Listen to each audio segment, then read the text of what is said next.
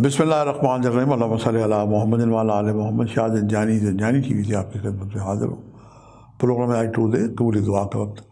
आज 21 जनवरी और इतवार का दिन है और आज जो इस्लामी तारीख है, ये नौ रजब की है और आज विलादत शहज़ादा अली असकर की है। ये वो नन्ना शहज़ादा था, जो करबला में झूले में था। और हमेशा ये झूले में रहा और प्यासा था तीन दिन का और पानी के लिए जब मौला हुसैन इसे लेके गए तो आगे से एक शहबाला किस्म का तीर आया जो शहजादा अली असकर के जनाब गले में प्रवेश हो गया। मौला हुसैन का ने जो अपने नन्हे शहजादे का जो खून था वो जनाब ज़मीन पे फेंक दें। ऐसे पहले कि ज़मीन की तरफ़ जाता, ज़मीन से सज़ा आई कि ये खून नहा अगर ज़मीन पे गिरा तो ज़मीन से कभी कोई फ़सल पैदा नहीं होगी। और मौला हुसैन ने खून ऊपर उछालने की कोशिश की तो आसमान से सदा आई कि अगर ये खून ऊपर आ गया तो कभी ज़मीन पे बारिश नहीं होगी।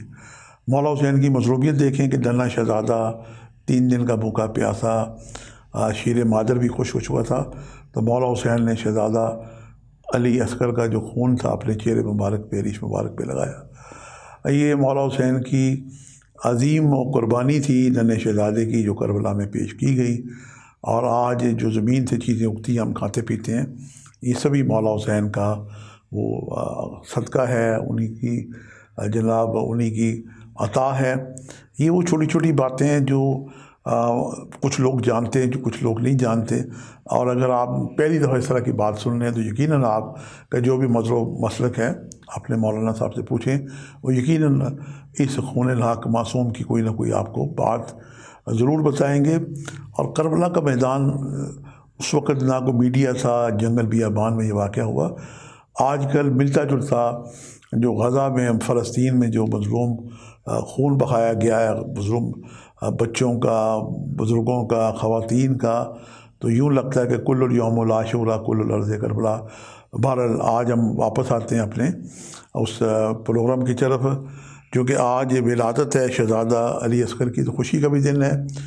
आप कोई नज़र अल्लाह न्याज हुसैन या नज़र दे के बच्चों में आप शरीर तकीम करें और शहजादा अली असकर के वसीले से दुआ करें।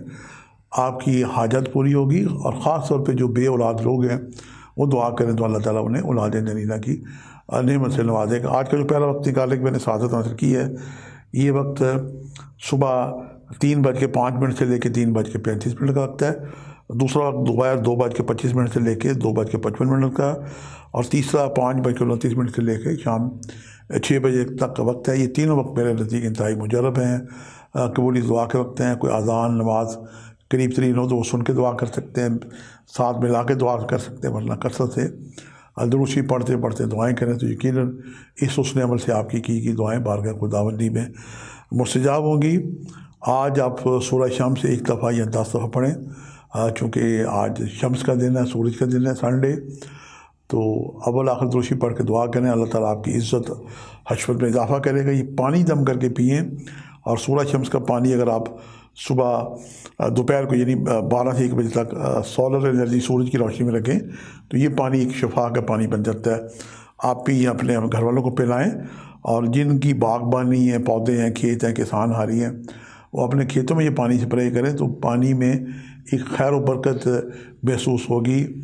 आज का जो सदका है, गंदम या बाजरा लेके मिला के कबूतरों को डालें, परिंदों को डालें पानी भी साथ रखें। यकीनन अल्लाह पाक आपके रिस्क माल में इजाफ़ा करेगा। अपनी दुआ में जहाँ आप दूसरों को याद रखते हैं पाकिस्तान के लिए, दुआ करेंगे ये 2024 जो नया साल है और नया महीना जो जनवरी का चल रहा है, अल्लाह पाक इसमें रहमत और बरकतें नाजर करें और बाद अपने दुआ करें। और आज मैं आपसे अर्ज़ करूँगा कि हमारी जिंजानी टीवी की और एक यू एफ़ टी वी की टीम सुबह शाम आपकी खिदमत में मसरूफ़ अमल रहती है। हमें भी अपनी दुआ में याद रखें। और जो अपन ये सैद ज़्यादा भी दुआ करता है कि आज आप जो भी दुआएँ करें, आपकी दुआएँ बार का खुदाबंदी में मुस्तजाब हों। आज के लिए इतने शाह जाने को इजाज़ दीजिएगा। बशरत ज़िंदगी का एक नए प्रोग्राम के साथ मुलाकात होगी। खुदा